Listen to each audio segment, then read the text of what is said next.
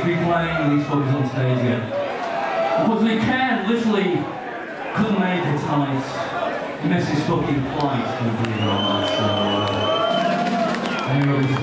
Stuff. Anyway, we're lucky to have the one and only.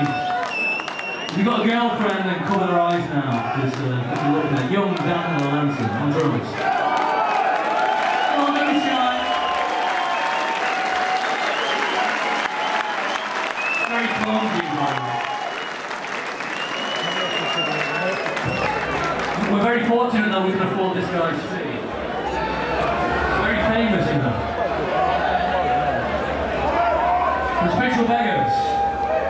A small band out here, I give you. It's Michael Amott.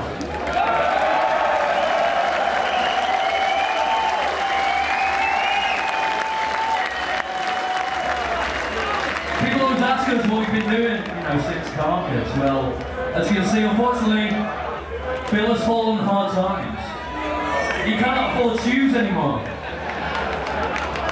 So if you feel really, really sorry for him, Go buy the new Five album